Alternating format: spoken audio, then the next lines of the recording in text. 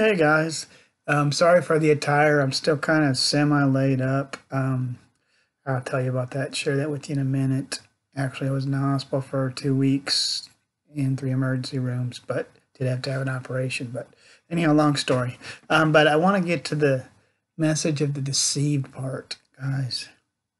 In Second Timothy 2, you know, um, lovers of pleasure, just all the stuff that's in there. I think it's three and four um, in the last days, perilous times.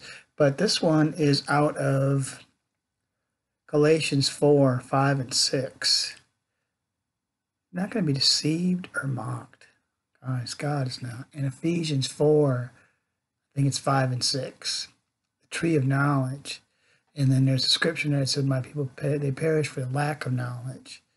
Um, there's a couple videos I want you to watch that I put out. One was The Spirit of Deception. It's from three years ago.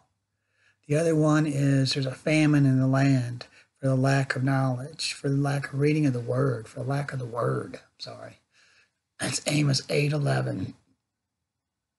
And it was about a storm that was going to come to America from 8.11 to 9.11. Guys, we already passed that. I see that. And I was like, man, God, did I miss it? But no, I didn't. Look at that one up too guys, there's some stuff out there on the internet right now. It's like I'm trying really hard not to repost stuff and do all that stuff. It's just kind of gotten, you know, like road rage and craziness. And I'm trying not to be deceived either. But it's like, man, can you not sense and feel that something's coming down? Because the outpouring is coming, guys. God's not going to be mocked. He's not going to be deceived. It's not business as usual. There's, I mean, I'm not going to change where my where I'm at. There's a reason why, God. I call them landmarks. It's things that God's done so that, that have been so constant in my life that I know what I'm talking about. It's like this hospital stay, guys, okay? I'm diabetic. Been that way since 94. Don't like any of it. Well, long, long story to get here, but I was paying attention to my feet, probably not as much as I should have, but my foot started hurting. And my wife had been in the hospital, not blaming her. It's not her fault. I won the hospital stay. We just had a lot of distractions. My car got totaled a month ago, November 3rd. I'm just now getting that straightened out. There was all these different distractions. And so I wasn't really no, I noticed my foot was hurting, but it wasn't discolored or anything. But then one day, just like right before Thanksgiving, it just blew up, and it was really, really red. And when I the pain, I can't feel my feet that good, guys. Honestly, from the neuropathy. So when I look down, and it hurt. When it gets that threshold of hurt, it really hurts. I can't feel most of it. I get poked. I've had stuff in my shoes for days, didn't even know it. One time it was a piece of a garden hose. Okay, guys, I just didn't even know. I don't even know how my shoe my shoe fit on my foot. Tore it up. Okay. I'm saying this for a reason.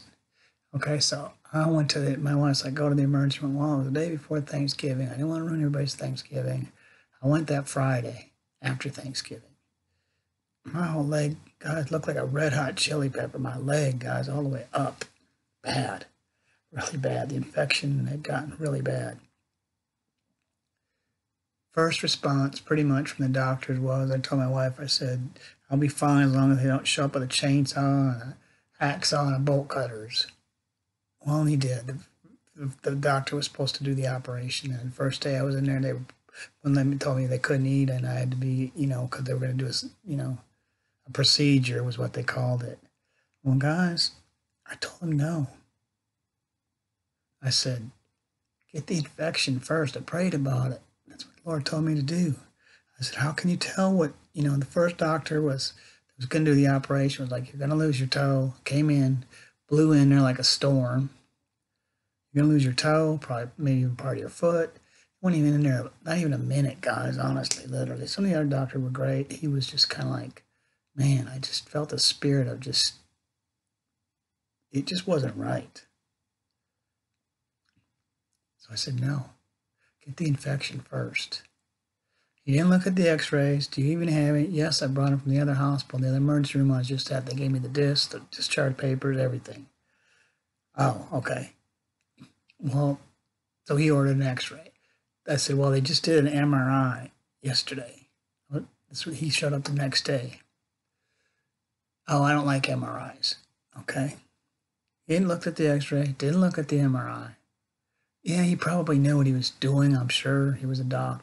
You know, I, I mean, I'm not knocking that he didn't know that, but it's like, I'm not getting my foot cut off just because you say so. No. I still had the operation, guys. I to made him for a week.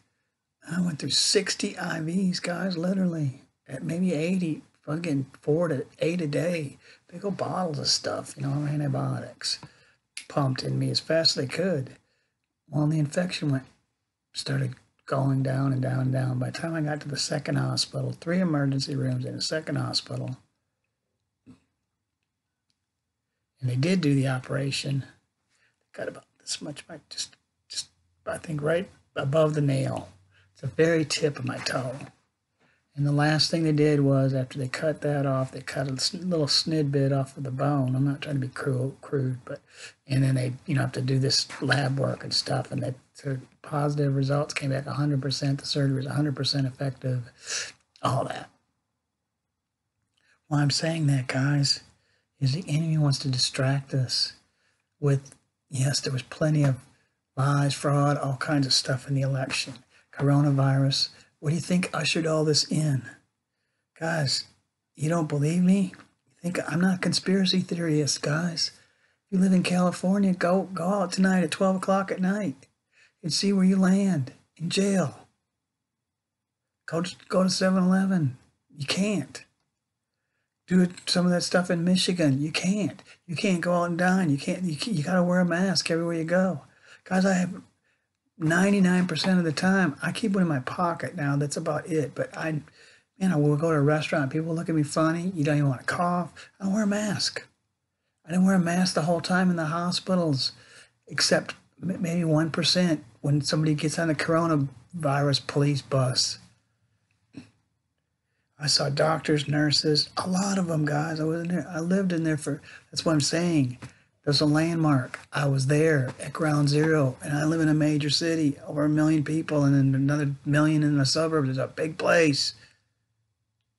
Yes, the coronavirus is serious. The hospitals are full. They're busting at the seams, sick people. Ask a lot of questions. They're not dying. Some are, and I'm not knocking and mocking that either because that's not good.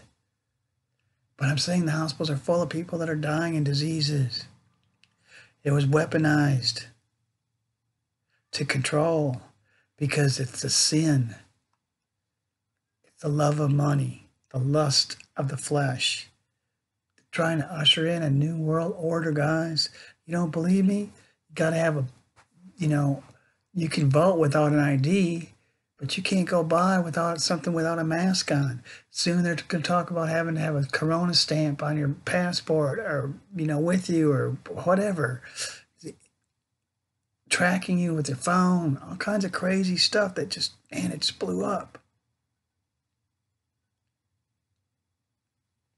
I don't have it in front of me. I've been using my computer, but it's in the book, guys. It's called the Bible. Don't be deceived. God's not going to be mocked in this. I'm not talking about who won the election and who didn't. I'm talking about, I'm not talking about he's going to expose all the corruptness just so we can gloat. We have to be very careful, guys, as Christians and as ministers, to not, how are we going to be the light of the world if we act just like the world? Barking on the internet. Like I said, it's become road rage. Click, boom, boom, you know, run, dump and run. Dump on people and run. Go hide and get your cup of coffee and go off and you, you know, your exercise or whatever, you know, whatever your life is. Just, you know, you spend five minutes on it and you blast something out and then you run. I'm not running for one. It's not me. I'm running all right. I'm running this race and I'm running to the cross. I'm running to Jesus. But what I'm telling you is You want direction? You want guidance? 5 a.m., meet me there for prayer. You're not going to get it without reading your Bible, without praying, without seeking Him. Oh, yeah, all this stuff is about to blow up, and it's not just the election, it's about to blow up. We, I put this out, a lot of people didn't like it. Some really good, strong Christians. One virus took out the church. Kind of like Daniel, Esther, where are you?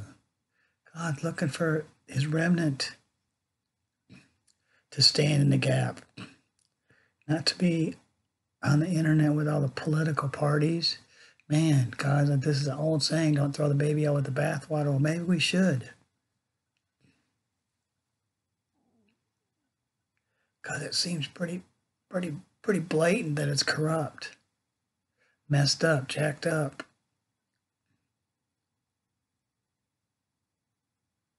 A lot going on. Do we really even need to know all that? for the exposure. No, we need to set people. Jesus, this is a perfect example, okay, guys, of why he wants to, the truth to come out. Not just on the election, but what they're directing us to. Because it's not, I'm not a conspiracy theory, guys. That's one of my messages that are out there. Lean not on your own understanding. Acknowledge him in all your ways. Trust in the Lord with all your heart, lean on, not on your understanding, acknowledge him in all your ways, he'll direct your paths. Proverbs, what, 4, 5, and 6. Our understanding, and we can't even figure out who shot JFK. Ask somebody. You get a half a dozen different theories. I get it. You know, the internet's full of it. People are saying we didn't even land on the moon, or did we? You know, the flag's blowing in the wind, or is it not? Man, your mind will get messed up with that stuff, guys. That's the de- enemy trying to deceive us. Get your mind off of the reality of, of God, Jesus, the Holy Ghost, and His Word. Sorry. No more games, guys. Um, No more Captain Crunch Christianity. This is the real deal, guys. He's not going to be mocked. His word's not going to go void. It'll accomplish that what it's sent. If he's telling you things and he's showing you things and you got it in, deep in your prayer life and in your in your walk with him, like I said, landmarks. You don't have to stumble and fumble and bumble around. Stand on the truth. But all this other stuff, guys, we got to kind of slow it down a little bit and really know that it's God. Really pray about it. Because we can be just as inflammatory and guilty as everyone else. Me included. This is not, hey, you need to do this and I need to do something different. There's, you know, I'm kind of used to all this. Honestly, I'm used to all this. Uh, deceptive, corruptive stuff because I've seen a lot of it in the church, guys.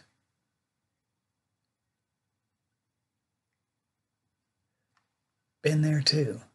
It's all coming out, but this is the exposure piece, guys, okay?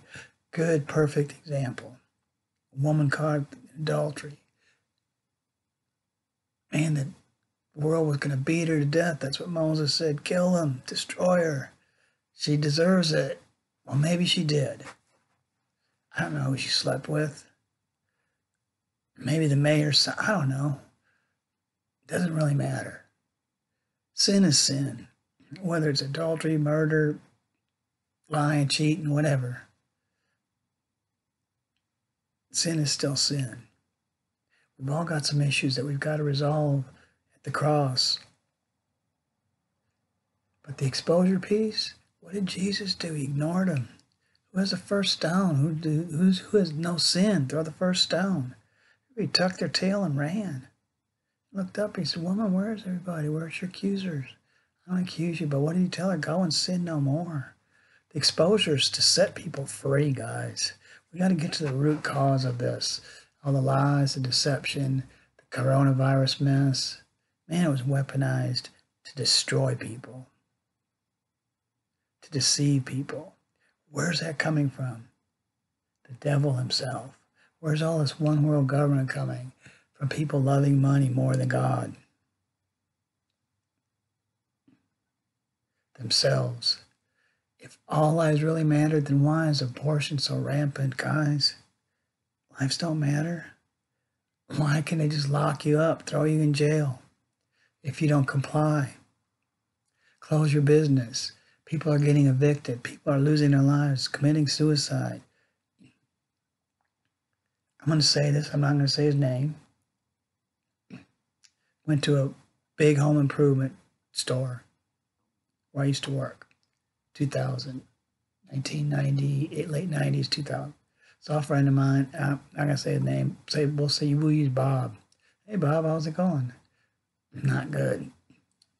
Well, I worked with them. You know, there were some things that weren't great. Is it here or home? It's home. He told me a story.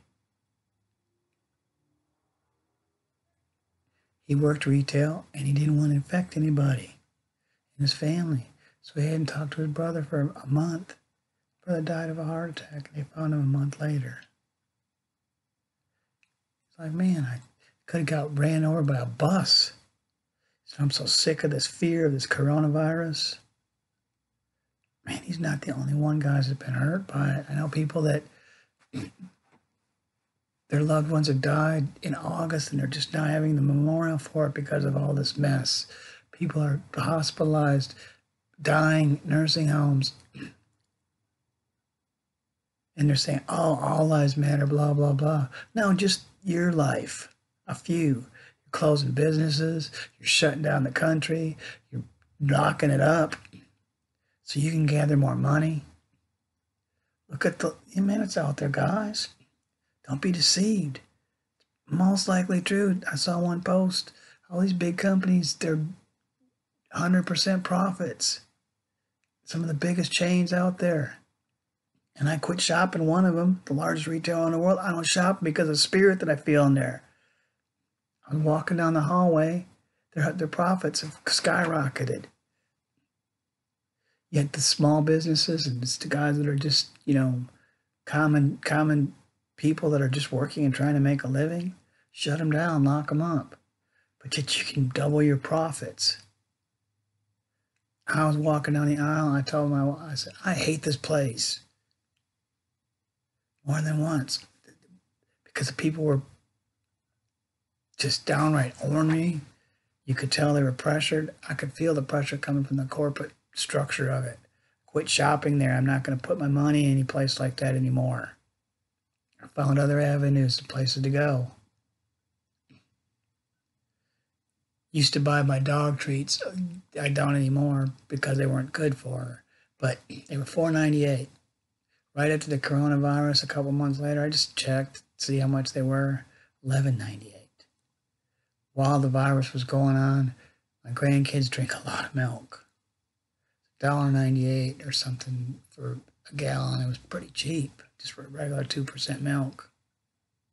It's 398 within weeks after the coronavirus mess started. How? Why? Greed, guys, the love of money. The politicians, what it's all about, guys. It's all about the corruptness. It's all about the ties with China. It's all about the, you know, the money aspect of it, the money and the power. Don't be deceived, guys. God's not going to be mocked. Unfortunately, I hate to say this, if we don't pray this through, we could be the Babylon, Babylonian Empire. I live here too, guys. This is my land. This is my country. Where I call home. No more. You want to change something? Get off your theology and try a little kneeology it's going to take some old fashioned Holy Ghost, backbone filled preaching, teaching saints of God. I was under, imagine that, six years, an all black church, North Dallas. I was glad to be saved, guys. One day I'm listening to The Who and my favorite band and Led Zeppelin and Lynyrd Skynyrd. And the next day in a, in a five hour service with black gospel music being three hours of it. Big change. Black preacher used to say, some of you got a $600 briefcase and a $1 message. You need to go get a, behind a building, a barn, cry out to God, blow some snot, blood coming out, get a hold of God. It's time to get a hold of the author and finisher of our faith. You want to change this thing? You want the exposure? It needs to be the right exposure, guys, to set people free. Not to shame them and guilt them, condemn them. But it's sin from within. it's just being exposed in different avenues, and everybody wants to bark about a certain one because that's what the devil wants us to just devour each other. Man, guys, my grandkids do it. Anybody that's parents knows this. Okay, we probably did it as kids too. You try to divide and conquer your parents. Try to work them again. When my grandkids pull that, uh, my granddaughter, uh, my daughter-in-law, or my son, and I put a stop to it real quick.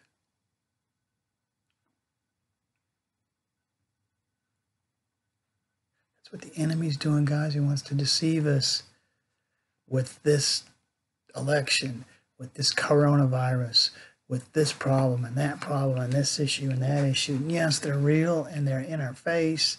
Like I said, just walk out the door, and especially if you're like in California or some of these locked down already places, you don't believe me? Go walk out. Go go go go to a store without a mask on. I do all the time. That's just me, cause I'm gonna. I'm not. I'm not barking. I'm. I'm gonna be about action. I don't wear a mask. Haven't. People. Sometimes people ask me. One time I had a shirt on. All it said was Jesus. This guy said, "Where's your mask?" And I looked down. I said, "Oh, it's called the blood of the Lamb." Got one on. Name is Jesus. I'm not trying to be stupid and crazy and goofy. It's just time, guys. Quit being deceived. God's not going to be mocked. But we don't have to be the barking dog. Be more like that Rottweiler. Nobody's going to see or hear you really till it's a little too late. Don't be like that chihuahua that ain't going to do squat. And if you drop kick and boot it, it flies across the room.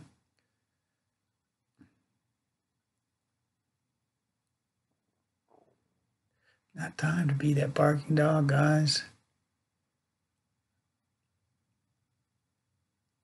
Time to be Joel's army. So, what's he telling you to do? He doesn't want your wealth and fame, he wants your guilt and shame because he wants to set you free.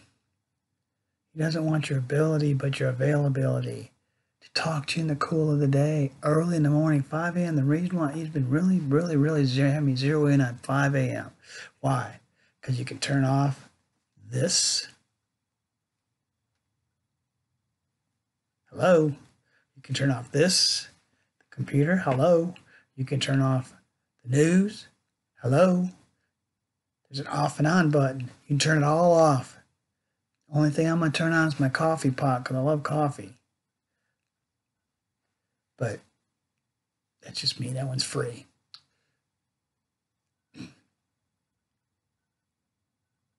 No distractions. My wife gets up early now too, but we, you know, we pray together. But we also have separate places where we love to pray. Her, she loves to pray outside, enjoy the sun coming up, and just the beauty of it, and that's just she just loves that me, I've got, you know, a recliner that I love to pray in, in our living room. It's my spot. Sometimes we share, sometimes we don't. Sometimes, you know, it's cold out, whatever, but sometimes we're not always up together. but I get up as often as I can at five in the morning, and I realize sometimes you may not be able to. It.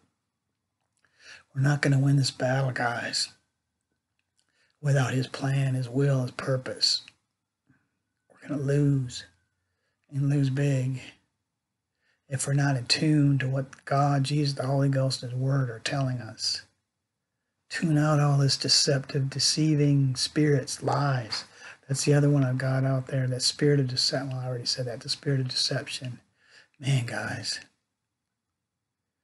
there's if some, if even half or a third of what I'm seeing, some of the stuff on the internet, we've got some stuff coming down the pike in the natural and in the supernatural in a very, very big way.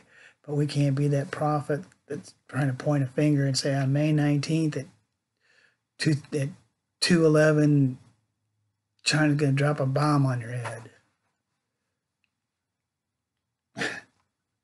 really?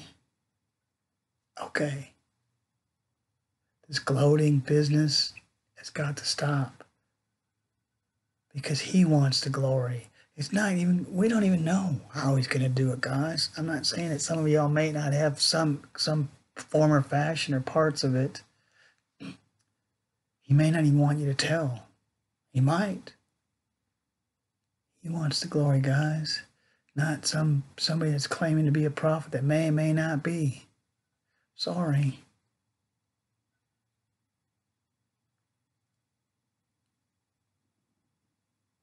We're all prophetic as God's children, guys. We've all got gifts, talents, amazing things that He's that He's given us. Man, I, I'm going to end with this. Church, two, three thousand people. I heard a better message from some guy that I was talking to in the sanctuary before church, some homeless guy, than I heard come from the pulpit. It's really sad. Broke my heart. Um, I wept and wailed and cried about that one for a long time. I'm not saying who, where, any of that, because I'm not. I don't. I'm not a big fan of that. Kind of between them and God. One day I may say something to him. One day I may not. I don't know yet. It's a whole nother. But we can't be deceived, guys. This is this is the real deal. It's game time, guys. The show is on. We must be about our Father's business. Love you guys. Don't be so easily deceived.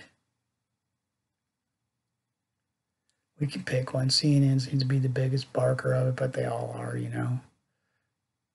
Lies, and portrayal of lies. Guys, pick one. We can get pretty twisted up into that mess real quick. I'm not saying we shouldn't say anything about it. I'm saying pray about it. What's God telling us to say? I'm not saying we shouldn't be the ones exposing it. Maybe you are the one that has to expose it. But it really needs to be birthed in prayer. So we're not deceived. I'm going to end with this. I'm going to tell off of myself, okay? I worked construction most of my younger years. Built houses, bridges, roadways, you know, I was a form carpenter, as a welder, did all kinds of, you know, some of it was pretty hard stuff, guys. I was framer, framed houses. So I'm, I'm, I'm in an idle office job time, managing some construction, but, and my wife called me and said, hey, I need the, the, you know, the garbage disposal went out. Okay, so I do the, back then it was Payless. Some of the other ones weren't around. That's how long ago it was. I do the, you know, the husband thing. I stop, get a garbage disposal, bring it home, look at it. You know, oh man, I used to be able to frame houses, build, you know, all kinds of cool stuff. But I'm not a plumber. But you know, I'm sure I can figure. You know, dive into it. Okay, figured out how to take, you know, all the stuff. To plumber is probably easy. To me, it's a little bit more complicated, but I finally figured it out. Took the garbage disposal out, put the new one in, and plugged it in. Everything worked. Next day, I get a call from my wife. I told her the story. So,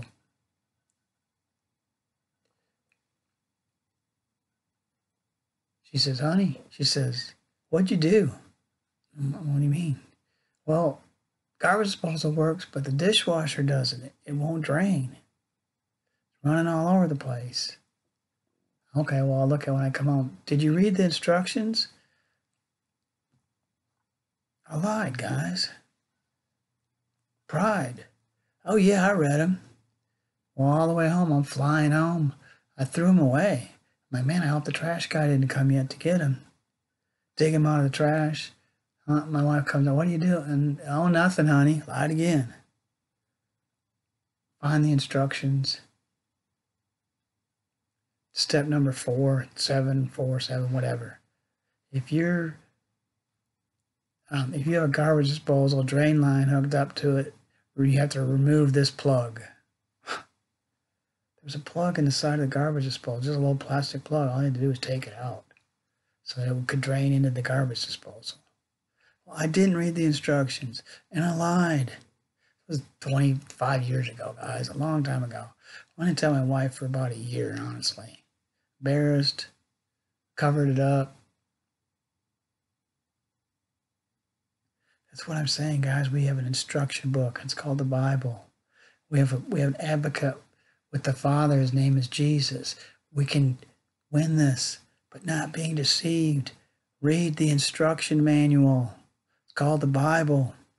Pray about what you're saying. Get direction from Him.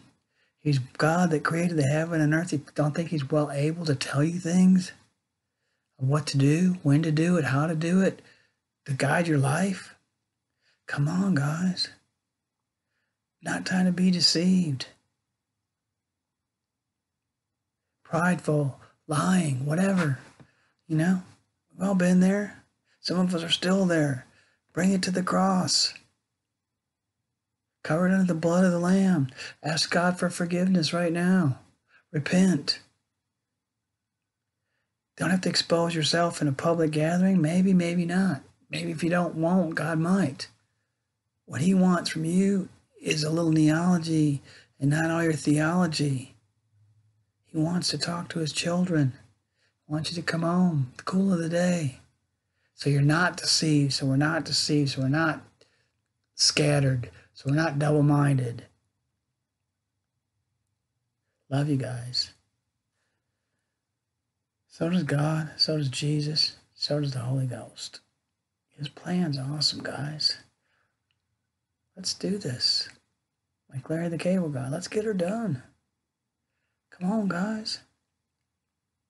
We're more than conquerors. Love you guys.